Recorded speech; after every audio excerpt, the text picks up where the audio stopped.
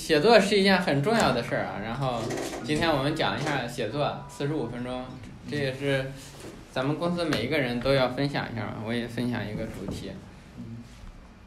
好，啊，这个胖猴，胖猴写作课啊，随便起的啊。好，先看一下这个，呃。就是有一有一个饭局上，就是有很多女的，就是大概有十个人。这十个人正在吃饭，吃着吃饭呢，突然发现就是说，他们都共同认识一个男人，而且呢，这十个人认识这这这这这一个男人都是他们的这个这个就是，他们都是他的情妇。这十个人里呢，有一个人是这个是是那个男的的老婆，另外九个都是情妇。这个故事特别漫长。一开始呢，有一个前台，然后碰上了一个男的，男的就和他搞到一起了。搞到一起上，他以为他谈恋爱了嘛，对吧？然后很快就会发现这个这个，他发现他不是这个这个人是有家室，他就找到了这个他有家室的这个妻子，然后和和这个妻子聊了之后，发现这个人也不是妻子，而那个人也是个情妇。他他发现他原本以为自己是小三儿，后来发现小三儿都不是，他是个小四。后来随着这个剧情的发展，呃，然后小四、小五、小六、小七，然后有一个他是个演艺公司的前台，对吧？然后有一个化妆师，有一个这个演员，就是有一个这个名呃，就是演员有演演员的经纪人，然后演员的那个化妆师，这三个人都是这个男的的情妇。然后后来他们就在一起吃饭，在这一在在在吃饭的时候呢。他们十个人在一，就是突然发现了有一个共同的一个男的在，就是欺骗他们，然后让他们就是，呃，就就就是不是自己所独有的一下一段关系嘛，对吧？所以他们的本能并不是说，呃，把这个男的暴打一顿，而是说，呃，我要把这个争夺回来，就是你们都滚蛋，就留下我自己。啊！但是后来他们很快就发现了，他们就是就是回归到正常思维了，就是说我们要复仇，所以这十个人就商量了一个阴谋，什么阴谋呢？就是说，好，因为他们要杀死一个人的话，你像你你也不能坐牢嘛，对吧？他们要就是无声无无息的把这十个人合谋把一个男人干死，就是这这这十个人就想了个办法，就每人给他吃一种他喜欢吃的。就就是这个食物，这十种食物放到一起是相克的，就把把这个男的给毒死。啊，这是一个日本的电影，叫做这个夜光中的呃黑暗中的十个女人，然后这不是啊就是然后和妻子算一起的话就是十个人，然后这十个人啊都是这个这个呃都是这个情妇，然后呃这个电影呢就叫做那个就黑暗中的十个女人。呃，非常精彩，它有那个电电视剧版，也是也也有电影版。几个？七九个，还有九还有他妻子呢，啊，这九个都是情妇，然后就是都是这个那叫啥小三儿小小一一直到小十，嗯。成功了没？最后是这样的，就是他们在这里面呢，嗯，后来发展到后来，就是他们都想想想动手，对吧？然后，呃。到后来杀死不杀死其实不重要，因为他们在寻找这个这个答案的过程中，就是呃，他们发现他们为什么会都会不约而同的陷入到一个男人的这个温柔的陷阱里，是因为发现他们从小都很少被关爱，然后就没有得到过足足够多的爱，然后所以说那个这个男人都恰好就就是担当了这么一个角色，然后他他们发现其实这个男的死不死。报不报仇也不重要，重要的是他们更好的去就是生活下去。好，开头讲这个为什么讲这个故事啊？就是说我当我们在谈论写作时，我们在谈论什么？就我，因为我小学不及格，我一直啊就是在这么多年里，这个例如这个像拖延症也解决了，然后这个什么很多事儿也解决了，就是包括呃减肥对吧？然后呃饮食。然后，但是这个写作我一直没搞懂。然后在过去的几年里，我也是我也买过这个三千多块的这种线上的写作课，啊，然后发现，然后什么买了那个红玫瑰、白玫瑰的那个书，什么什么古诗源的这个书，去寻找这个写作的源头。然后我还去这个对，给你们说了，去上海去，我专门跑到上海去见蒋方舟，啊聊吃了个饭，聊了一个半小时，也没有什么结论。后来我在去年的春天的时候，自己办了一场写作课，在那一次的时候，就是，呃，那一次是我请了六个老师，六个老师有慕容雪村，你们谁知道慕容雪村？这肯定知道呀。不很很那个九零后都不知道，那个是 那个呃为什么有人不知道？因为他在二零零一二零一一年的时候，慕容雪村被那个封杀了。他是《纽约时报》的记者，就特特约记者，然后被封杀了。他其实是第一代的网络小说作家，啊就是第一代的那个网络小说作家里最出名、写的 number one 的那一个，啊，写了很多那个就是啊那个销量也很高。然后在二零一一年那个就因为呃《纽约时报》报道那个什么事件啊，啊就就被被雪藏了，然后所以他连工号都开不了，就开了个工号就被封杀了。所以你们不知道是正常的，呃，然后这里面这六个人是就是有有大象公会知道吗？是个也是百万粉丝的一个工号，非常厉害的。知道。对，他的创始人黄章进黄章进啊，请到了他，请到了慕容雪村何菜头知道吗？知道。也也是很有名的这个，对，就何菜头，就是宁财神的那个微博号就送给何菜头了。何菜头以前的天涯。也是写作非常牛逼的，对吧？然后还有一个真正的诗人，就是一个真正的诗人。我说我从来没有见过活体诗人，然后，然后请了六个人呢，就是，然后我这边招生，每人两千多块钱，然后这边找了六个老师，就我免费听嘛。一开始本来说是我和我和我的那个好朋友叫王鹏，我们想我们俩自己每人出两万块钱去找六个老师给我们上课。后来想，我靠。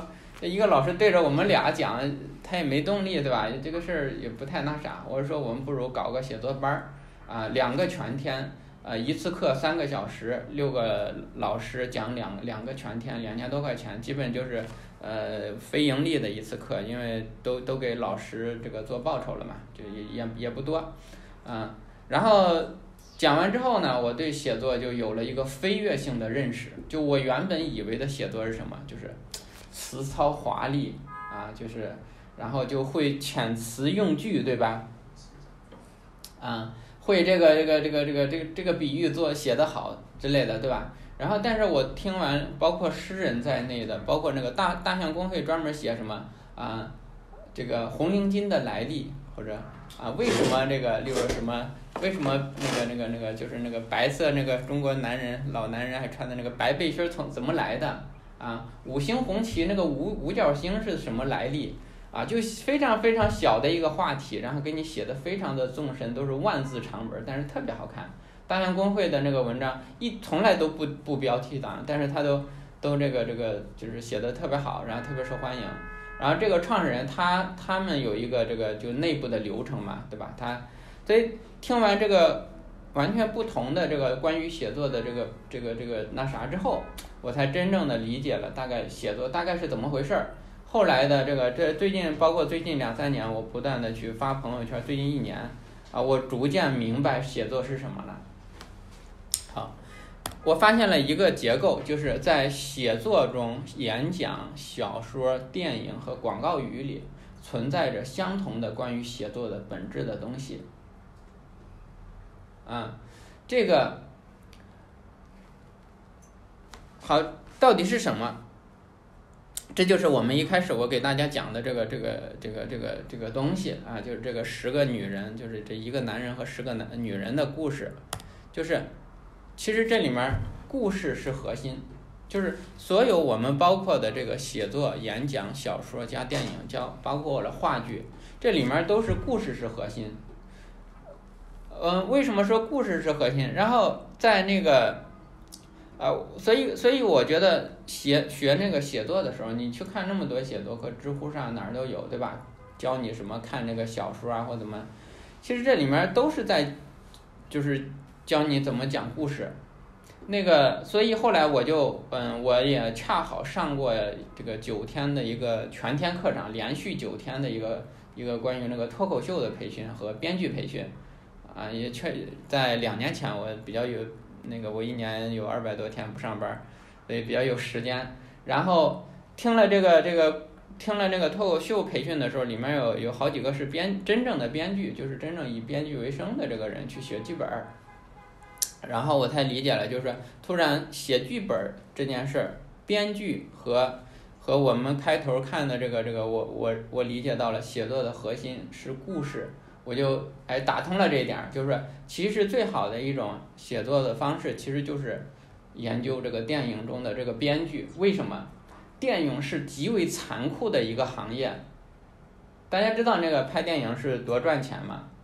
是都都觉得，假如说，呃，就是很很多那个煤老板有了钱，对吧？一个亿拍个电影，对吧？然后，哎，还有女演员，对吧？然后，然后这个都觉得很高大上，但其实那个拍电影这件事儿，其实是这个总体而言，总是赔钱的，因为因为这里面只有头部这一百部电影，只有头部的十部电影是赚钱的，啊，我我是这个在猫在美团做猫眼儿的时候。我很了解这个数据啊，就是拍电影里一百部里九十部都是亏钱的。你像大量的尾部电影根本就没有人看，所以在电影的这个工业里又是发展了这个几十年的这个，对吧？非常的那个成熟。然后用户对对这个这个电影的要求非常高，就是你好看我就去用钱投票，对吧？用脚投票，你不好看我立马就走了，看完一半就走了，然后。然后那个电影的编剧里呢，有大量的这个极其精彩的一些结构。好，我给大家看一下啊，这个就是一个一个很牛逼的一个呃好莱坞编剧的一个一个叫做这个故事节就编剧剧本节节拍表。这什么意思呢？大家可以看一下这个这个啊，这个大概是这个剧本多少页呢？就一百一十页，这个一个典型的一个一百一十分钟的分电影，对吧？就是一百一十页。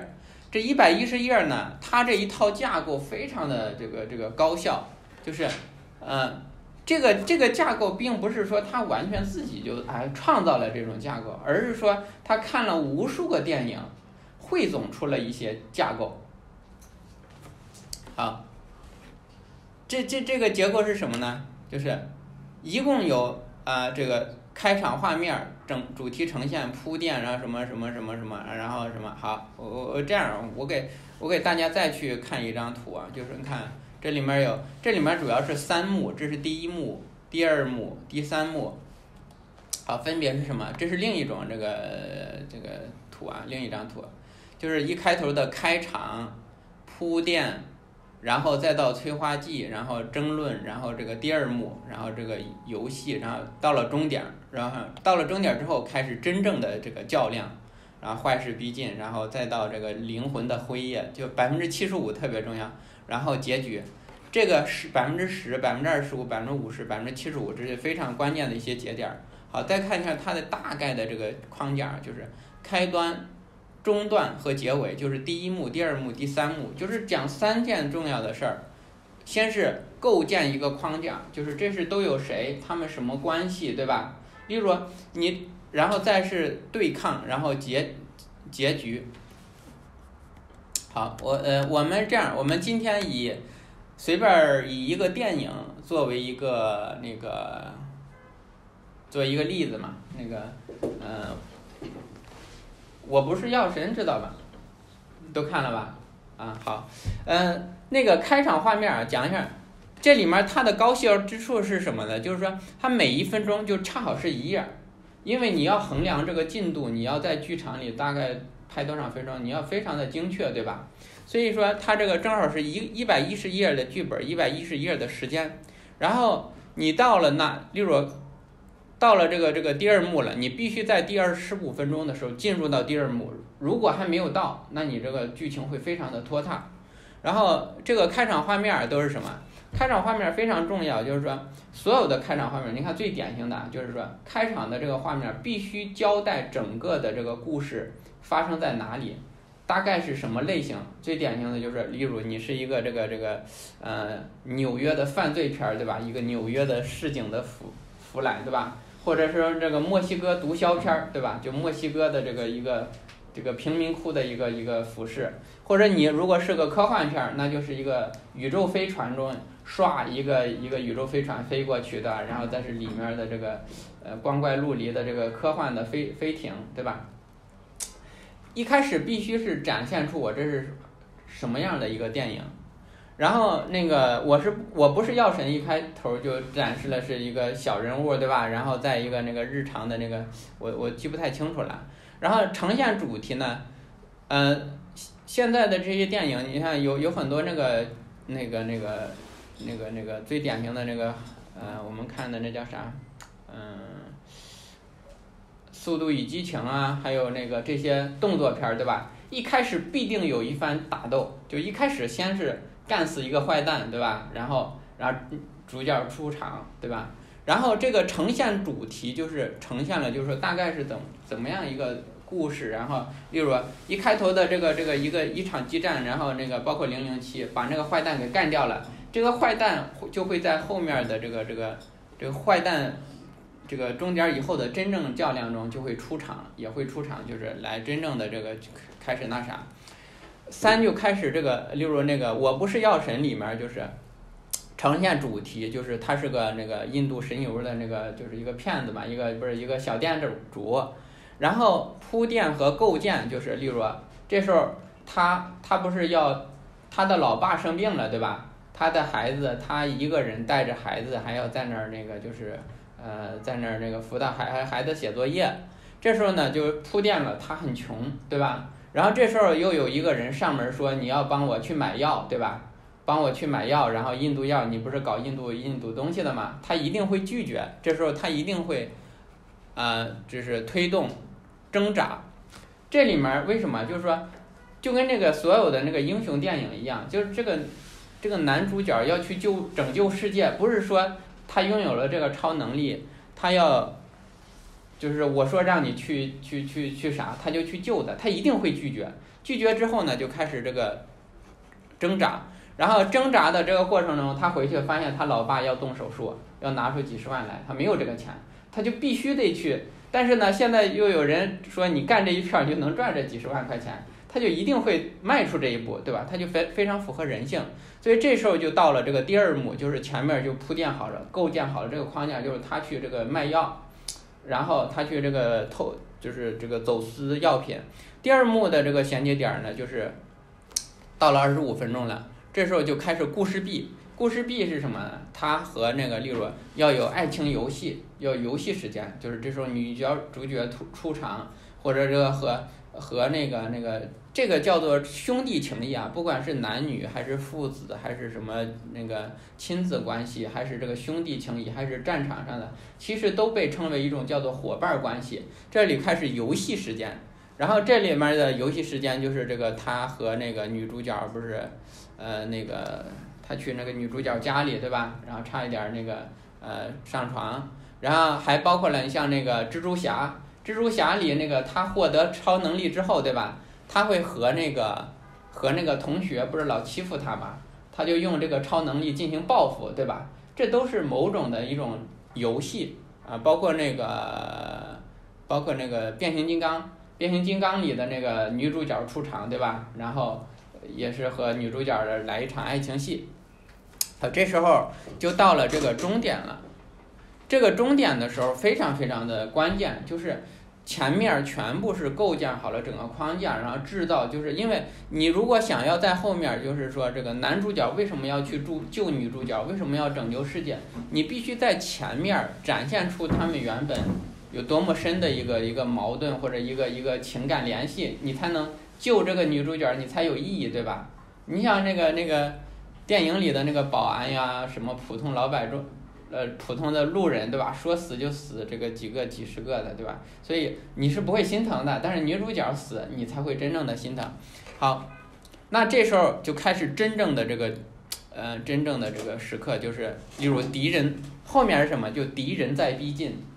敌人在逼近是什么？后面的你看，这时间其实还是比较长的，就是不断的，就是这个就是敌人在逼近。例如最典型的就是说，例如，嗯，在那个我不是药神里，就是那个那叫啥？那个那个和他一起的那个那个人不是呃有有个人要死了嘛，对吧？就是那个主动去救他们，开车去跑把那个警察引开，对吧？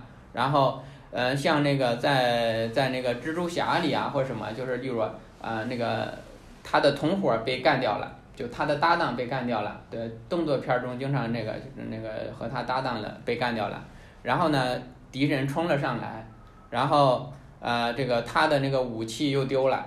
然后他的那个，例如超人里的那个就有那个超能力被夺去了，对吧？各种各样的就是敌人永远在逼近。到第十一分钟的时候，对，第在这个第十一幕这个这个环节的时候，这个第七十五分钟的时候，必须让这个男主角陷入到一无所有的境地，就是在那个在在那个我我不是药神里也是那里面的不仅那个人死了，对吧？还有包括那一个人也死了，就是必须让这个这个，包括那个功夫熊猫，功夫熊猫看过吗？功夫熊猫有一集里是那个他的那个他不是有个导师吗？那个乌龟大师对吧？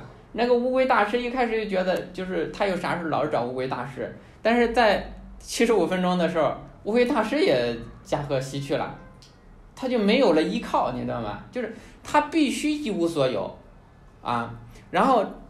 这时候你才能非常那个，就是，呃，非常的揪心，对吧？然后就是灵魂的黑夜，他就是他必须他面临了一个巨大的这个这个选择，他必须得做出这种选择。然后到第三幕的时候就开始转折，例如，呃，在战场上，然后他他就跨出了这一步。你看，我不是药神里就是。他下定决心，他自己掏钱，然后不赚钱，我也要把这件事干成，对吧？后面就是一幕又一幕的这个胜利，或者啊，然后再到中场画面，就是中场画面就是和前面呼应，啊，结结局就是一个又一个的胜利，去交代一件又一件的事儿，然后这个这个故事非常非常的高效啊，然后大家看看一下这个就会就会非常的理解，就是啊，到了。这个这个铺垫对吧？然后争论游戏时间，然后坏蛋在逼近，然后灵魂黑到就黑黑夜，然后再到结局。好，呃，这是这个这个这个架构，就是多数电影几乎都是很符合这个架构的。好，第二还有这个框架不止一种，很多种框架。呃，这个这个再大大概概括一个，另一个就很有名的那个理论叫做英雄之旅理论。这是在几十年前，一九五零五五几年，那个在一个教授，历史学教授，专门研究神话学的，他在古今中外的所有的神话里发现了一个共同的结结构，就是英雄之旅。就是后来呢，这个英雄之旅呢就被那个好莱坞编剧应用到了那个编剧这个电影编剧里，啊，非常的非常的有意思啊。大家看一下啥？就一开始一开始就是这个这个主角这个英雄。一定是处在一个平凡世界里，最典型的，例如蜘蛛侠的那个男主角是吧？一开始就是个高中生，对吧？变形金刚的那个人也是个高中生，然后泰坦尼克号这个这个杰克也是一个穷小子，对吧？他一定是身处一种，他不能一上来就是个英雄，对吧？那他还有啥好看的，对吧？然后一开始上来就是一个平凡人，然后呢，后来得到了这个。就是使命的一些召，使命的召唤，或者叫危险的召唤，就是，例如那个他被蜘蛛咬了，他获得了这种超能力，他获得超能力，那个一开始他是怎么样？他一他一定是拒绝的，他不会接受，对吧？他拒绝之后，他发现他就他就会遇到一个启蒙导师，你像那个功夫熊猫里也有，对吧？然后之那个那个像黑客帝国里也有，都有这么一个角角色，这个导师。给他启蒙，他扩到，然后跨过第一道门槛儿，然后他就开始这个，他就有这个开始不同的测试，例如他有新的敌人、新的盟友，然后开始什么？深入洞穴，啊，然后是这个这个深入洞穴去探险，然后这个苦难的这个折磨，然后。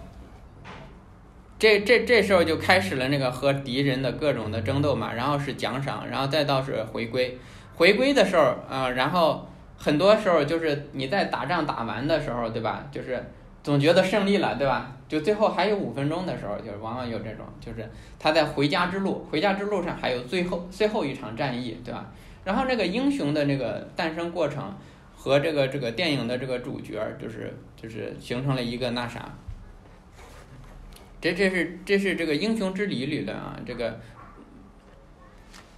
这些这么多故事呢，很多种这个很多这个知名的编剧就把这个不同的电影早就分了有多的有七十个类别，小的也有十个类别，就是分成了不同的一些类别，然后这些类别呢。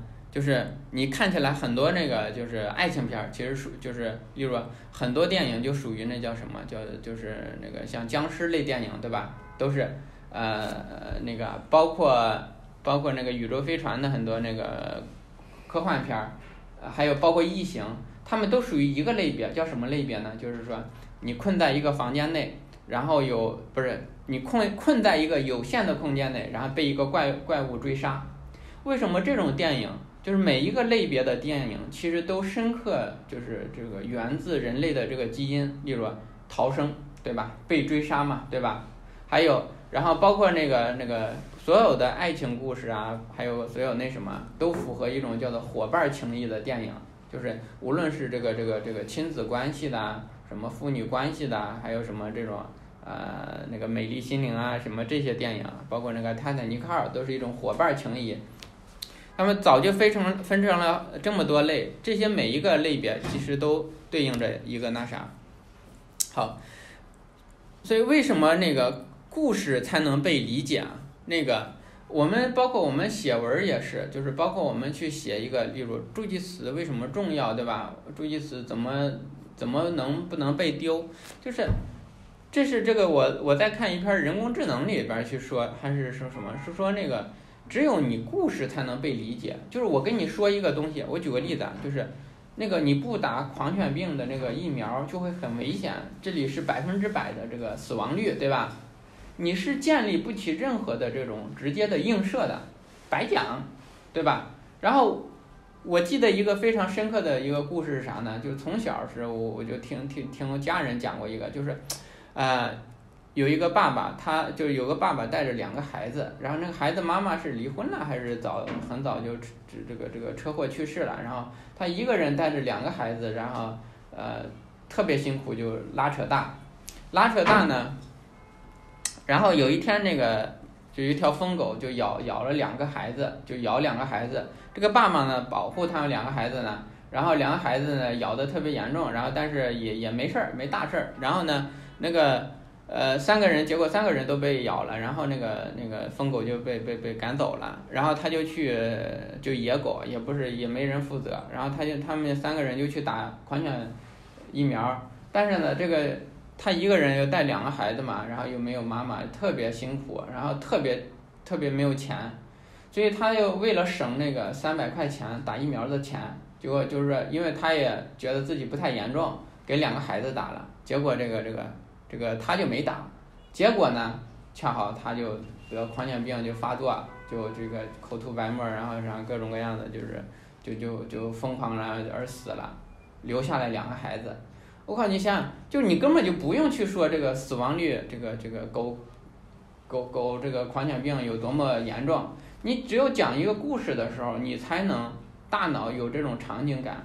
那个包括那个助记词被盗也是，助记词就是说你你给别人看拍照什么的都不行，对吧？都会被盗。然后然后我我看了这么多那个在学区块链的这个过程中，我发现给我印象非常深刻的一点就是有一个主持人，就是他演示这是钱包这是私钥的时候，就把他的助记词展示给了这个电视，结果很快他那里面有零点零几个币，结果就被踢走了。然后就这种故事这种场景。最能够说服人，因为你，因为你你建立了一种这个最广泛的一种模型，这种模型让大脑迅速理解。你要说你这个助记词不能拍照不能截图，其实它很难被理解。所以说，我们写任何的这种功能的时候，一定要假设某种场景，即使它频，其实用户对它频次高不高啊，什么有没有用啊，什么就无所谓啊。你像你像我们还看到过一个一个一些一个很流传很多的那个关于那个助记词，就是他把助记词备份的时候，他发送在了那个微信里嘛，结果他发错到群里了，发错到群里了，结果就，然后然后那个有。可能任何人就会把这个这个这个这个十万块钱转走嘛，他就急急忙忙赶紧就是开始争分夺秒的，然后开始那啥，结果就是查到了这个人，这个人确实立马有一个人给转走了。后来他查到这个人，因为是实名的嘛，所以最最终把这个钱给要回来了。哎，是要回来还是差一点被转走啊？我忘了。然后这时候就是你讲这么一个故事，哪怕你是编的，这是还是个真实故事，人们也知道了，就不能在微信里去发这些东西，对吧？所以只有故事才能被理解。然后在这个故事线里呢，就是什么是叫对故事线，这是一个名词啊，就是还有个词儿叫做故事盒。故事盒什么意思呢？就是呃。在拍电影或者那个很多美剧里啊，就是说，它这个故事本身，当这个设定一出来，你就觉得不行，这个这个这个故事我要听，我要看完。就像这个这个黑暗中的十个女人这个故事，对吧？就是十个女人都有一个共同的一个敌人，一个男人，然后然后他们都都要把他一一起就是弄死，对吧？那你会你就会觉得很有意思。大量，你像美剧里这点做的非常的充分啊，像很多科幻美剧就做的这个特别有意思，就例如，呃，突然全世界所有的人就昏迷了，就是车，呃，就是有一个有一个那个呃那个 FBI 的那个警探在追一个犯罪分子，然后在车上开着，突然这个车就翻滚了，然后呢那个那个大楼然后就有被那个直升飞机给撞，然后那个到处都在那个就是。呃，所有的车都在发生了车祸，然后就不知道发生了什么。然后他他站到那个那个男主角站到那个车上向世界看的时候，什么到处是飞机坠落，然后那个车祸，然后到处在着火火灾，然后不知道发生了什么。你很好奇对吧？然后很快告诉你，全世界所有的人同时昏迷了一百三十七秒，全世界就是。六十亿人昏迷了这么多，当时那一瞬间就因为各种的，因为就包括在海边游泳的人也就一下就淹死了嘛，因为他昏迷过去了。昏迷的这个过程中呢，后来发现很快发现，所有的人同时都做了一个梦，这个梦呢，经过大家一串联，发现这个梦所有的人的梦都是一百三十七秒的一个梦，他们都同时梦见了在。七个月后的那一天里发生的那个一一百三十七秒，当时他们的场景就是说，他们预见了未来。我靠！然后全世界人不是昏迷了吗？对吧？都昏迷了，所有人没有没有没有任何一个人例外。然后他们建了一个网站，就开始收集所有的这种这种报告，然后然后就是发现他们同时接受到了这么一个画面，就是这个未来的一百三十七秒穿越，然后。在最后一分钟的时候，然后那个探员说：“哎，过来，你看这一段那个警探，呃，这这一段这个监控是，呃，录像，在一个那个橄榄球的球场，所有的人在同一秒钟唰全昏迷了嘛，就倒地了嘛，在在教堂里、医院里，所有的人都同时倒地了，但是在球场里就有一个人在东张西望走来走去，完了说这个人他妈的是谁？然后就第一集就结束了。”啊，这这是一个美剧，所以这种美剧，你像它第一集的这个故事盒，就就就能够就是，就就能够这个这个串起整个的这个这个大谜题来，然后背后还有一些五六个故事线，这个故事线是啥呢？就是永远在转折，啊，就是，嗯，然后在编剧里他们写会写那个一幕的小卡片，例如那一页嘛，对吧？就是一页就一分钟，一页剧本。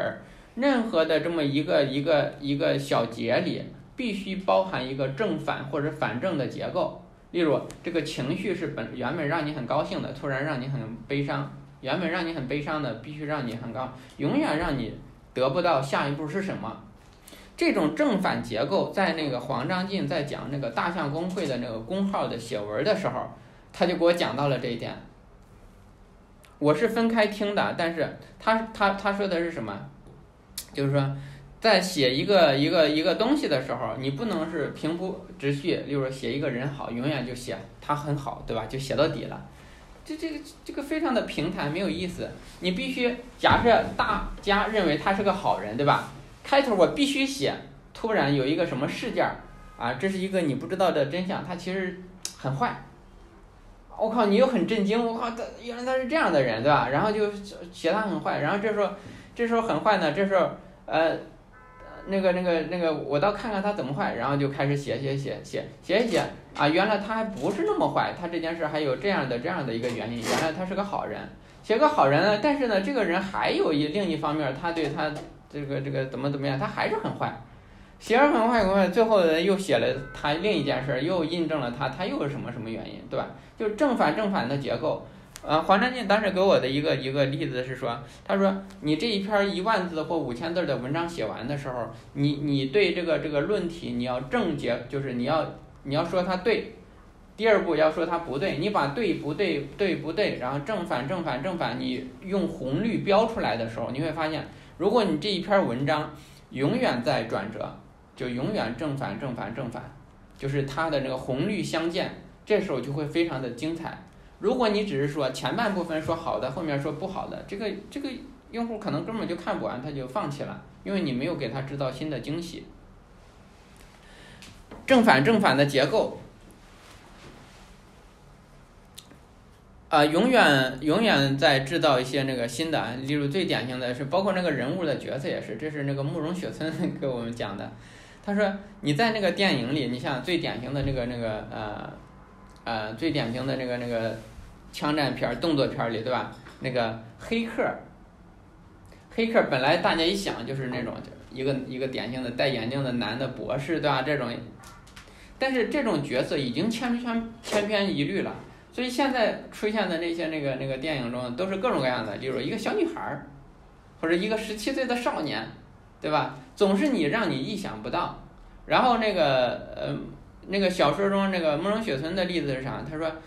他说：“这个发生了一个震惊全城的一个什么这这个分尸案啊，发生了三起啊，每周一起，然后非常的恐慌。这时候要找到一个这个私家侦探，就极为传奇的私家一个一个侦探，呃，来勘察现场。然后当车这个到的时候，大家又想一下，一个私家侦探对吧？很很壮啊，或者说一个很聪明啊，或者戴着眼镜的这么一个角色对吧？很睿智的这么一个角色。”但是结果发现，这个来了一个面包车，打开车门，大家抬下了一个轮椅，抬下一个轮椅呢，这个这这这个这个这个这个传奇警探是啥呢？是一个什么一个截了肢的，然后一个一个一个一个残疾人，然后那个手全身上下只有一个手指头，两个手指头能动，就跟霍金一样，然后说话也说不利索啊，就这么一个人，你想你你就觉得我靠，就是。你让你无法不去注意到这件事儿，所以那个角色永远是不同寻常的那么一个角色，啊，像有些那个科幻片儿，有一个科幻片儿就讲那个平行宇宙的两个宇宙，两个宇宙有交叉嘛，这两个宇宙互为敌人，里面就有一个人，就有一个教授，这个教授老是在解解剖尸体，结果他解剖尸体的时候，永远在谈论吃的，就是，就是哎呀那个，哎我那个。牛排给我烤熟了吗？怎么怎么样？就是，然后弄一个这个这个心脏出来，呃，说一句，就永远让你的大脑充满了这种就是 C C P U 的那个满负荷的那种感觉，就应接不暇。哎，《西红柿首富》大家看了吧？看。啊，对，里面也是嘛，里面就是各种各样的那个，就是，呃，那个那个这种设计。好。那么回归到我们说这个写作，就是，那我们为什么要写作？啊，我我就可以提出这有三个问题啊，就是首先你为什么要写？第二是写给谁看？怎么写？我之前讲的是这个写作、演讲，包括电影编剧、话剧，对吧？都是相同的结构。那么，呃，和演讲和写书一样，都有这个三问，就是我为什么要写？那么写，是因为啊，我我我我经过这几年的那个一个一个分析，包括我为什么我每年会自己办十场的演讲，就是包括育儿啦、减肥啦，各种各样，就是我包括我也想，就是有好几本书的那个框架想要写书，就是你为什么要写？是因为什么？就是是因为你确确实实知道很多别人不知道的事儿。就是别人不知道的逻辑，别人不知道的世界，别人不知道的经历。最典型是什么？我原本以为那个写作只有谁可以写呢？韩寒啊，这个知名的作家，对吧？什么这个奖获得者，什么专栏作家、畅销书作家才可以写。后来我经过了这么多之后，我发现其实不是，就是说你只要你有，就是我我原本因为我小学时候不及格嘛，所以这是一个二十年的一个一个呃困惑，就是我他妈的就是我一定要搞定写作这件事儿，要不然我这就死不瞑目的感觉。然后就是我我我原本就是写作只有只有说这个就是语文好的人才有写作的权利，后来我发现其实不是，就是就是当呃。举个例子啊，这是这是我和一个呃一个一个演讲的一个大牛这个交流的结论，就是说什么样谁演讲最好，啊，最终的结论是啥呢？就是呃马云第一，然后这个谁第二啊？那个马云第一，然后乔布斯，还有那谁是这个对罗永浩，这三个人是前三的，我们一致认为这是前三的演演讲大师。然后呢，其实。其实这里面谁最那啥？就是如果你有一些极其独特的经历，我举个例子，假设你经历了一场那个矿难，你经历了一场那个什么渤海的什么那个天津的那个大火灾，然后包括那个乔布斯，他作为一个企业家得了这个癌症，又自我攻克了，对吧？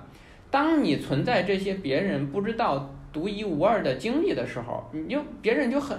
不管你会不会写，你会不会说，你只要把你的经历给讲给别人听，别人就很这个过程必定精彩，因为是别人不知道的一些故事、一些经历，对吧？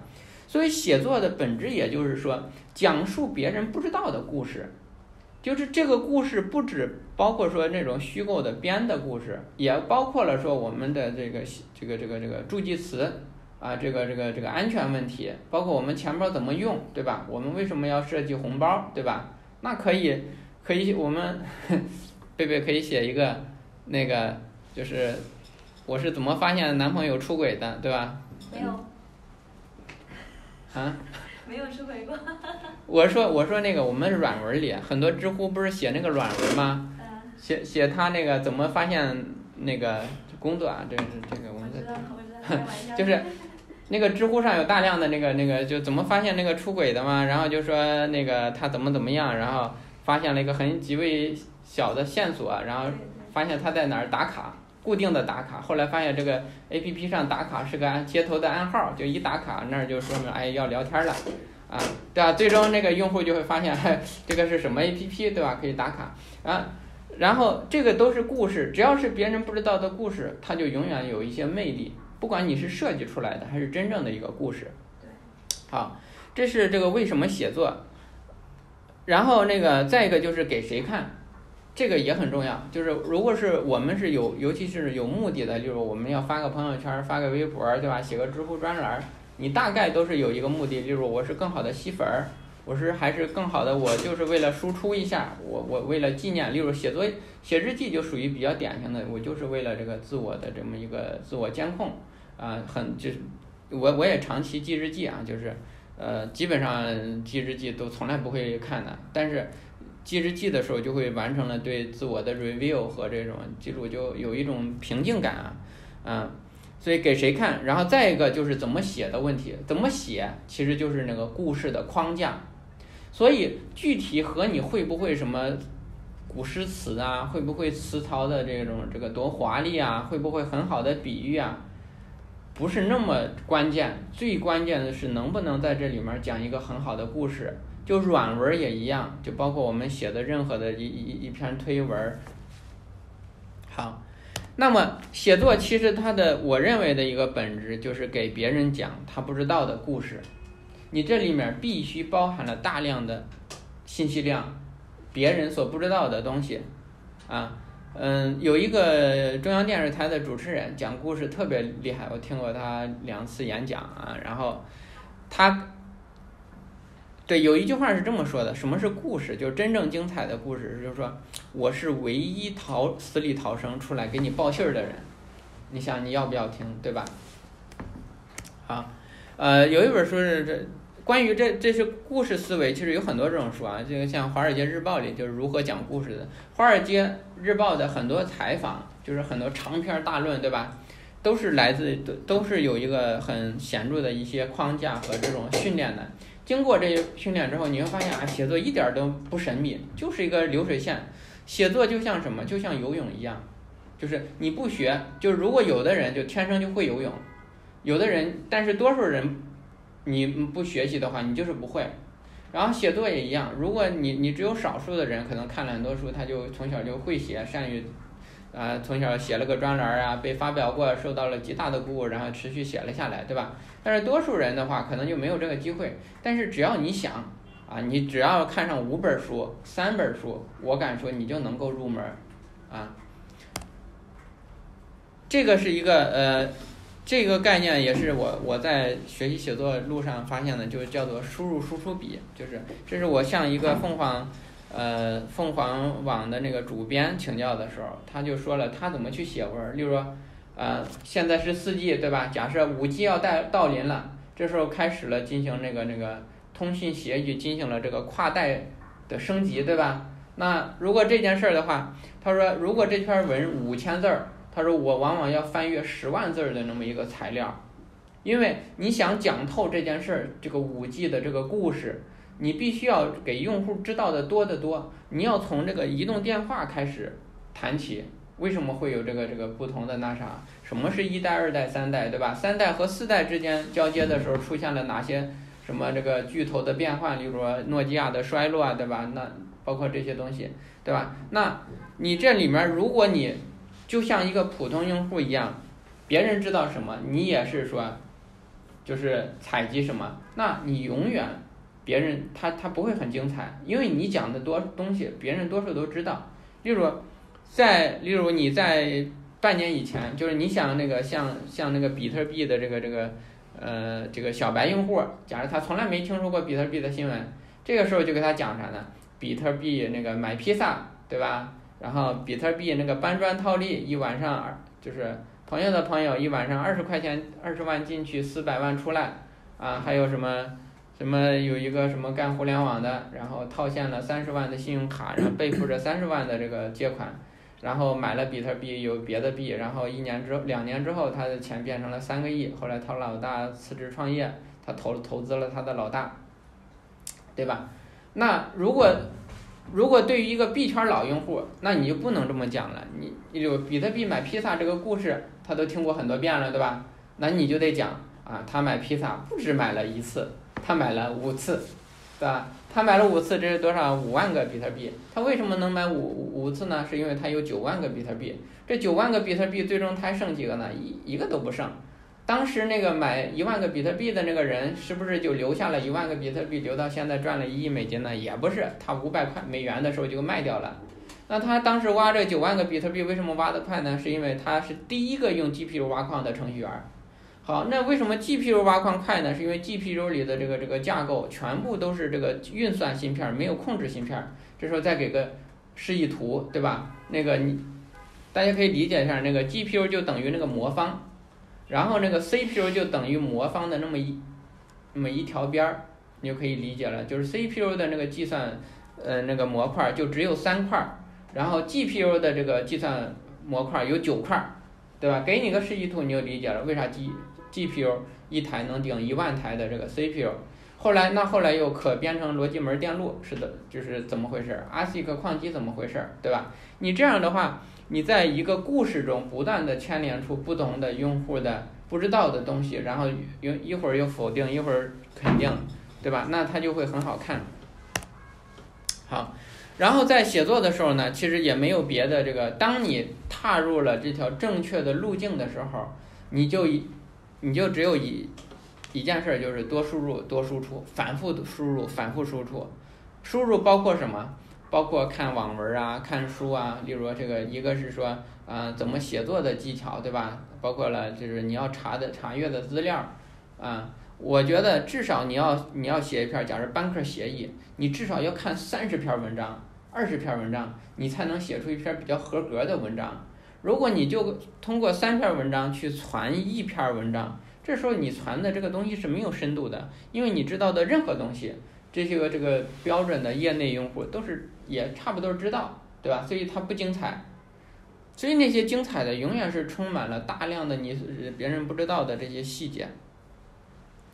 再一个就是反复的输出啊，反复输出其实呃也很简单，哎，就不断的，例如朋友圈就是一个啊，朋友圈儿写专栏、写公号啊，我我倾向于大家就是这个这个也也也养成一个输出的习惯，包括啊这种输出也包括面对面演讲、面对面吃饭。我经常和朋友去聊天去讲减肥，就一对一的吃饭时就给他科普减肥，就对着一桌火锅说，哎，这能吃，你知道为啥我点这个吗？对吧？因为植物油和动物油什么区别，对吧？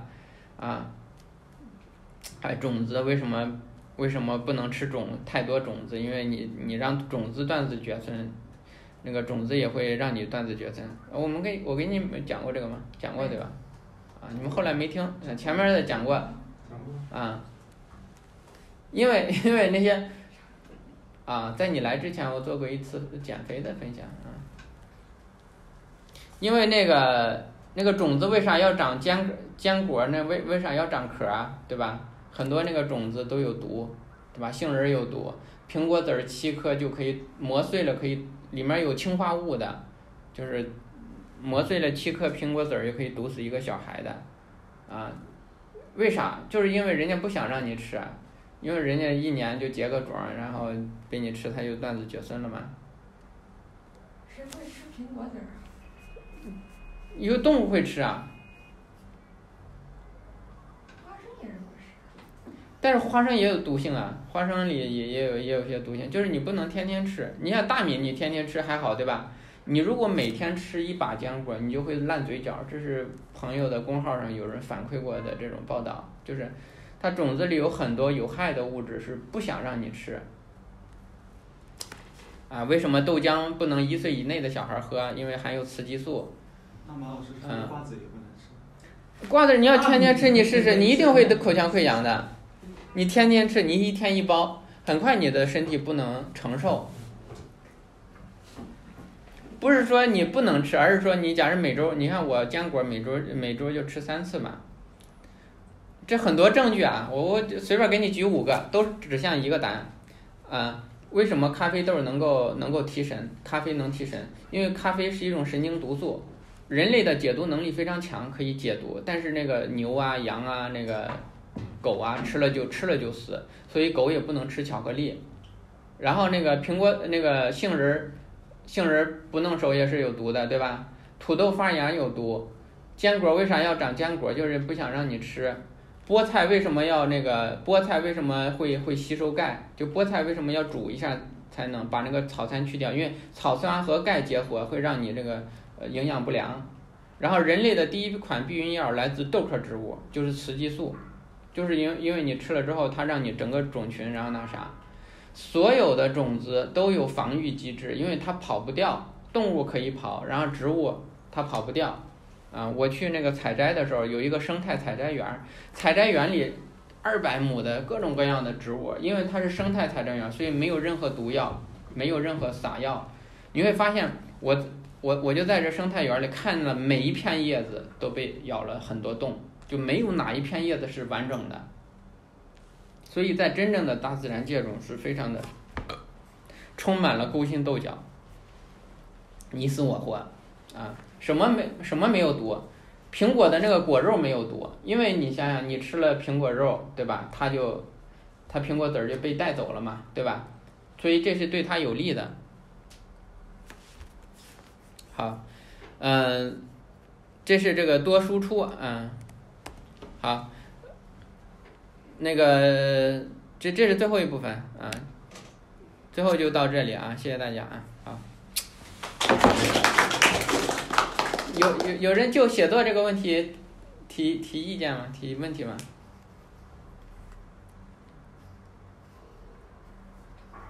嗯，我来提个问吧。嗯。就是怎么怎么样能够快速的去设置一个场？怎么快的设置场景，对吧？对，就是让读者就是能很快的去进入到你设置的这个场景。呃，例如，永远在就是就是你你讲的这个不就是你所有的输出里百分之九十一定是讲一个具体的 case，永远不要去靠逻辑和数字去说服人。人永远这个大脑进化了这么多年，它只对场景能能吸收。啊，就像你像我开头为什么要大给大家讲这个对吧？讲讲一个这个东西，这和演讲也一样。我现在演讲就是经过学习演讲之后，就开场，我往往会花两三个小时去专门就挑选一个故事，我可能会选三五个故事，最终只选一个故事。像我讲比特币的时候，我开场一定讲那个披萨的故事，啊，就因为你开头，你像你无论做演讲，包括他去看一篇万字长文的最开头的那个十秒钟、三十秒钟，对吧？和你演讲的第一分钟，他的注意力是整个全场的最高峰。这时候，如果你，你不激起他的多巴胺，你你就产生不了一个钩子，就是你如果一开始就产生一个钩子，他后面就会永远给你看完。所以那个开场特别重要。所以，呃，写作的这个导入故事，包括演讲的导入故事，包括你像很多小小说，为什么那个鸡头凤尾，对吧？不是那个，那豹豹头凤尾，对吧？就为什么有这种说法？就是那开头你弄好了，他就觉得这个。他就产生了这种吸引力，就包括包括了那个，包括那个赌场，赌场永远会在让你前几把里赚几把，对吧？还有那个抖音，大家知道抖音的一场结构是怎么来的吗？抖音为什么那么好看啊？我我一个月只看一次啊，就是看看两小时卸载。对对，我为了为了为了创业，我就不看抖音了。然后那个抖音它的。他一开始会弄一个流量池，例如很小的流量池，例如一万的浏览量，会测试你任何视频都会在这个浏览量里进行一个反馈，根据这个点赞，它很快就筛选出，例如这个一百个视频里，很快就挑选出五个精彩的视频，这五个已经比较好看了，因为它百分之五嘛，对吧？这五个呢，再放一个更大的十万的一个流量池里去测试，例如这这第二批测试呢，测出来之后，又一百个里又挑选五个。所以这这个这最后的这个这个这个这个这个一个视频出来，可能前面是一万个里才能选五个出来，所以它是万中无一的那么很精彩的视频。这个视频被称为极其那个精彩的视频，然后这个东西会出现在你看抖音的这一个小时的前三分钟。这前三三分钟的前十个都是极度的那种全站的精华，不管你关不关注，就全站精华。后面才会慢慢的降低，就是再去平均化推一些别的。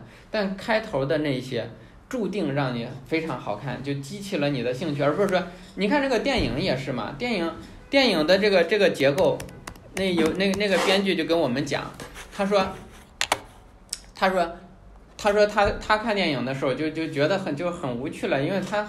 所以很懂这个节拍表啊，他他说有一次他看电影，那个电影已经已经演了五十分钟了，就是已经到了百分之三四十的一个结构了，五十分钟了，然后那个那个第二幕还没有出现，就是还没有开始这个这个第二幕的那个就是这个男主就是例如这个女主角还没有出场或还没有一些重大的铺垫上去，还没有第二幕的大故事，他说哎这个电影就完蛋了，他一一定是的，因为你你到了这个点儿了你都没有到啊。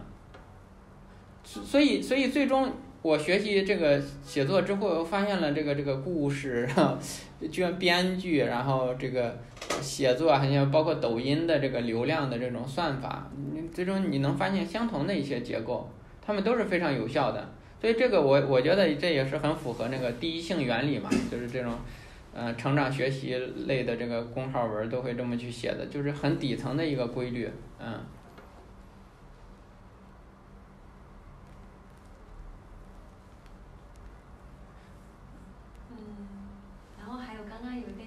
就你刚刚说每次就是讲到比特币的话，就觉得应该要讲那个披萨的故事。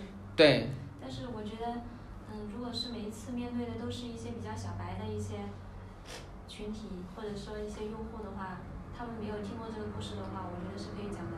但是如果对听，所以就是说你要知道用户是谁嘛，就是如果听过了，当然这个故事就没有意义了，就不讲了嘛。就或者是说，嗯，对。肯定要换故事，换故事，永远要换故事。对。啊，但是如果说你要是永远是这个，因为是这样，我我不是二零零五年去做了搜狗输入法吗？然后二零零七年、零九年之离开搜狗之后，这十年几年的时间里，我也做过什么产品经理的培训，然后什么人工智能的培训，然后还包括呃什么呃这个这个进化的这些培训。后来我发现，如果针对全这个小白小白的这个从来也不知道我是谁的，永远我就讲搜狗输入法诞生的故事。啊，就这永远是有效的。包括俞敏洪，他们对任何的一个一个演讲，他们如果去这个学校演讲，永远是讲那么几套就是最受欢迎的框架啊，因为他人会换嘛。如果是不换，当然说我们我们要换故事，对吧？啊。还还有问题吗？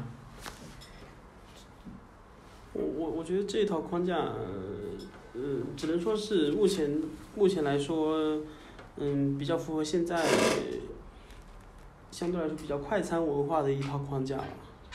不是，它是它是所有都都都包括的。嗯。嗯。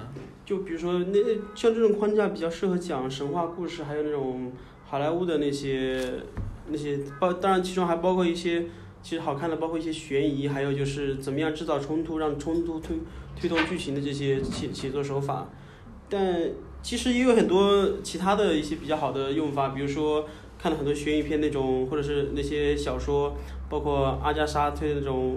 暴风雪山庄那种模式，就是你可以把时间线打乱，那种讲法就和现在这个就很不一样了。不，它是另一种框架，就是今天我们我我只是给大家看了两种框架嘛，对吧？框架也有很多种，不是说一定说到了百分之五十怎么样，那框架也有很多种。包括写书的时候，有很多流水账的书啊，就是特别无聊，特别无聊，从头到尾就一个调调。我看过一本语文书就是这样的，但是看完之后还是觉得很震撼的。就是它里面有大量的那种那啥，就是可以有不同的结构，但是就是你可以打乱任何东西，但是它的核心你就是永远要讲述别人不知道的东西，并且永远就是在创造一些这个这个他所他所希望的东西，就永远是符合人性的这些东西，这些东西完全永远是这个就是例如呃恐惧之情对恐惧的这个情绪震动对吧？然后那个这个伙伴情谊。就是因为原始人的这种战斗，对吧？包括对这个未知世界的探索，它永远其实都是都是符合这些东西的，啊，这个框架肯定这只是其中的一种啊。我这个神话之力和这个也不太一样，但是这个是一个最高效的一种、最出名的一种给大家看的，就是是百分之二十五、百分之五十、百分之七十五啊，就是这个也符合现在的这些，所以我拿这个做例子。框架还有很多种，都可以的。好，那我就这样，好，谢谢，谢谢啊，好。